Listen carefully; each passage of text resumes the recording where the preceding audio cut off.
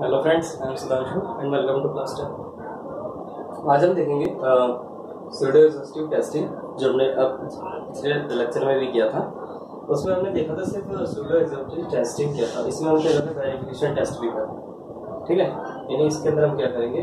ऐसे सर्किट को सॉल्व करेंगे, जैसे हमने पिछली बार जो सर्किट सॉल्व किया था, उसमें हमने क्या किया था? उसकी आउटपुट जो थी वो सिर्फ़ एक गेट से आ रही थी। इसमें हम क्या करेंगे?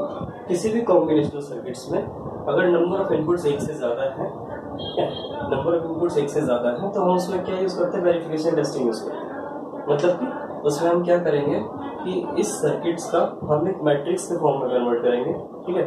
मैट्रिक्स के फॉर्म में कन्वर्ट करने के बाद इसके पॉसिबल वेक्टर्स निकालेंगे, ठीक है? तो चलो, इसको स्टार्ट करते हैं। जो इसको भी स्टेप्स में डिवाइड करके हम स्टार्ट करते हैं, जैसे कि हम सबसे पहले स्टेप वन करते हैं। स्टेप वन क्या है? कि हम सबसे पहले जो सर्किट गिवन है, इसका हम मैट्रिक्स के फॉर्म में कन्वर्ट करें। पता हम लिख लेते हैं इसको। डिपेंडेंस मैट्रिक्स हम क्या डिपेंडेंस मैट्रिक्स कन्वर्ट कर रहे हैं इसका। किसके फॉर्म में कन्वर्ट करेंगे? डी एम एन अब देखो, यहाँ पे जो मैंने एन लिया है, वो नंबर ऑफ़ इनपुट्स है, और जहाँ पे एम लिया है, वो नंबर ऑफ़ आउटपुट्स है। ठीक है, अब हम मैट्रिक्स ड्रॉ करते हैं। ये नंबर ऑफ़ आउटपुट्स है हमारे। हमने क्या किया? एक्स एंड वाई ये हमारे आउटपुट्स हैं। और दूसरी तरफ़ हमने क्या ले लिया? इनपुट्स इनपुट्स क्या है? ए बी एंड सी ठीक है? तो अब देखो, इसके अंदर अगर मैं वाई की बात करूँ, क्योंकि वाई जो है, वो किस किस इनपुट्स पे डिपेंड कर रहा है? यानी जो वाई की जो आउटपुट आ रही है, वो किस किस के इनपुट से डिपेंड है? ठीक है? तो हम चलो चेक करते हैं। जैसे एक्स है हमारा। एक्स देखो, इन दोनों इनपुट से एक इस इनपुट से आ रहा है और एक इस इनपुट से आ रहा है। दोनों टेस्ट करते पहले यहाँ जाते हैं, यहाँ देखते हैं।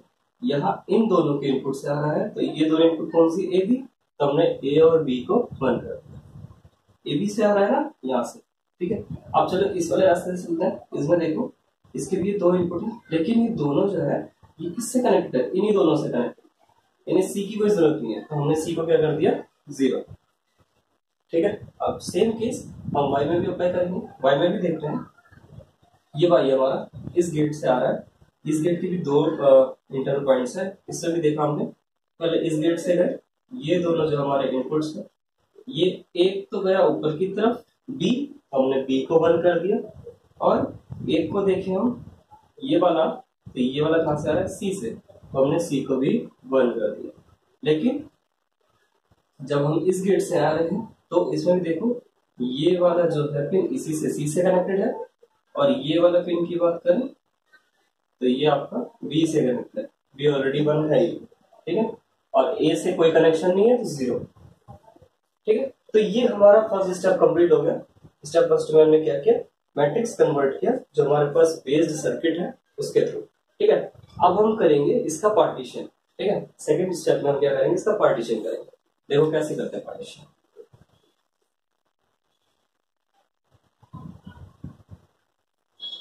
अब हम क्या कर रहे हैं? पार्टीशन कर रहे हैं। पार्टीशन डिपेंड डिपेंडेंस मैट्रिक्स ठीक है? अब हम क्या कर रहे हैं? पार्टीशन डिपेंडेंस मैट्रिक्स का कर रहे हैं। हमारा क्या था? अगर हम देखें एक्स एंड वाई तो यहाँ ए था बी और सी था। एक्स डिपेंड था ए बी पे। तो ए बी पे डिपेंड था, ये ज़ीरो था, और वाई किस पर डिपेंड था? सी एंड बी पे। तो सी एंड बी पे डिपेंड था, और ये ज़ीरो था। अब हम क्या कर रहे हैं, इसको फर्दर सॉल्व कर रहे हैं पार्टीशन करेंगे। देखो, इसका हम पार्टीशन कैसे करेंगे कि अगर मैंने इन दोनों के बीच में लाइन खींची तो देखो, ये दोनों एक साथ वन वन है। है ना? हमें ऐसे पार्टीशन करना है कि किसी भी जो आपका पॉसिबल इनपुट है, वो उसके इक्वल नहीं होना चाहिए। ठीक है? उसके अपोजिट होना चाहिए मतलब। जैसे कि यहाँ पे वन है तो इस तरफ़ ज़ीरो होना चाहिए। यहाँ ज़ीरो है तो यहाँ वन होना चाहिए। तो हम एक चीज़ देख सकते हैं। अगर मैं इस बी को यहाँ से रिप्लेस करके इस तरफ़ रख देता हूँ तो देखो, अगर मैंने सी को मिडल में रख दिया सी को मिडल में रखने से क्या होगा? ये वन है तो ये ज़ीरो है। ये ज़ीरो है तो ये वन है ना? तो यानी देखो इसका फर्दर अगर मैं इसको पार्टीशियन करूँ तो क्या हो जाएगा? अगर मैंने ये एक्स वाई ठीक है? अगर हमने यहाँ ए रख दिया, यहाँ सी रख दिया, यहाँ बी रख दिया तो देखो one zero zero one one तो देखो ये पार्टीशन पॉसिबल है। ये पार्टीशन पॉसिबल है। क्यों? क्योंकि अगर हम इस तरफ़ देखें तो ये वन है और ये ज़ीरो है, और ये ज़ीरो है तो ये वन है। यानी सेम इनपुट लेंगे, है ना? हमारे डिफरेंस है, ठीक है? तो ये हमारा जो ये वाला मैट्रिक्स बना है, ये वाला, इसको हम बोलते हैं पार्टीशन डिपेंडेंस मैट्रिक्स ठीक है? अब हमने क्या कर दिया? जब हमारा मैट्रिक्स आया था, उसको हमने पार्टीशन कर दिया। ठीक है? पार्ट्स में डिवाइड कर दिया। ठीक है? चलो, अब इसके बाद हम क्या करेंगे? रिड्यूस करेंगे इसको। पार्टीशन भी कर दिया, अब इसको रिड्यूस करेंगे। देखो कैसे रिड्यूस करेंगे? ये है हमारा स्टेप थ्री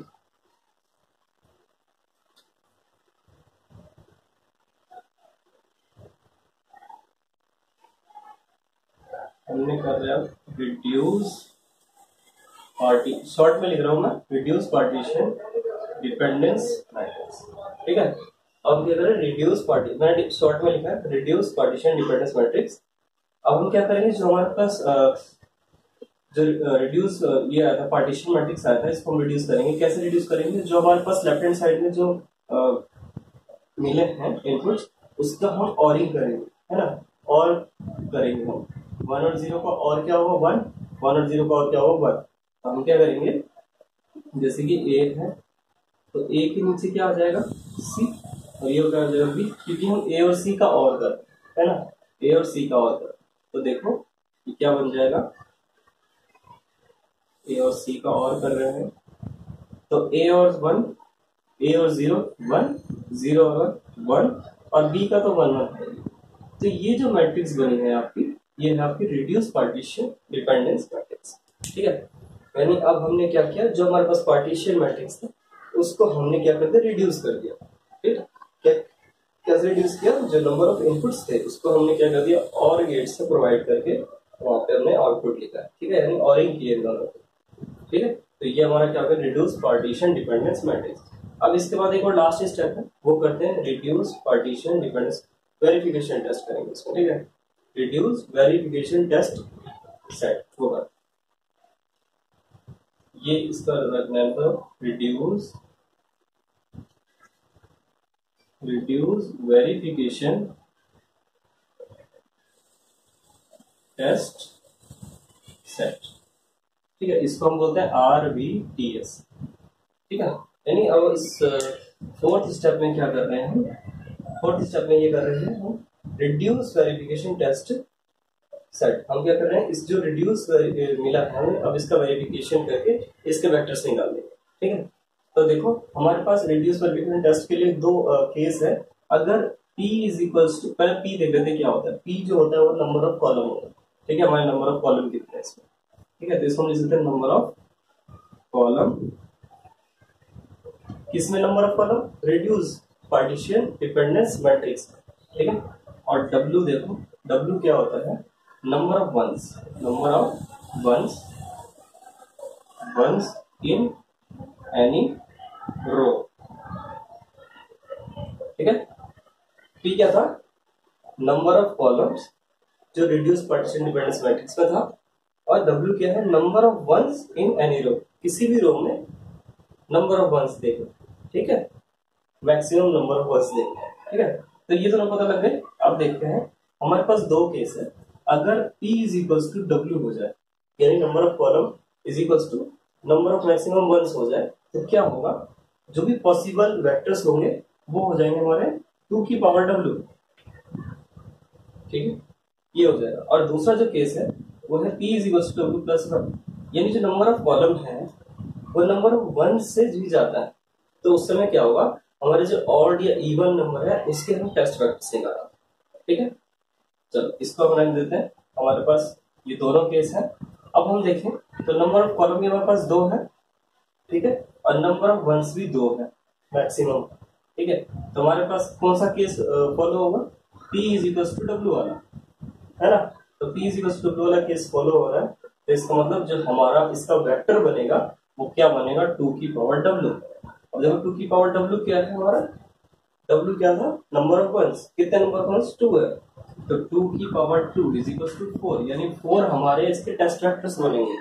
कौन से टेस्ट वेक्टर्स बनेंगे? अब देखो ए देखो, इसके जो टेस्ट वेक्टर सब बनेंगे zero zero zero one one zero one तो ये हमारे क्या हो जाएँगे इसके? टेस्ट वेक्टर्स बन जाएँगे। ठीक है?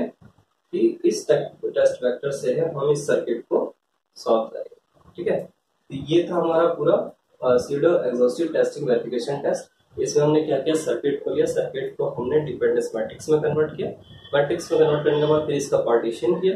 पार्टीशन करने के बाद इसको रिड्यूस किया।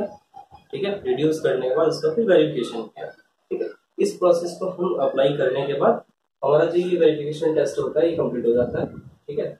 इसके बाद एक और है हमारा, उसको हम नेक्स्ट वीडियो में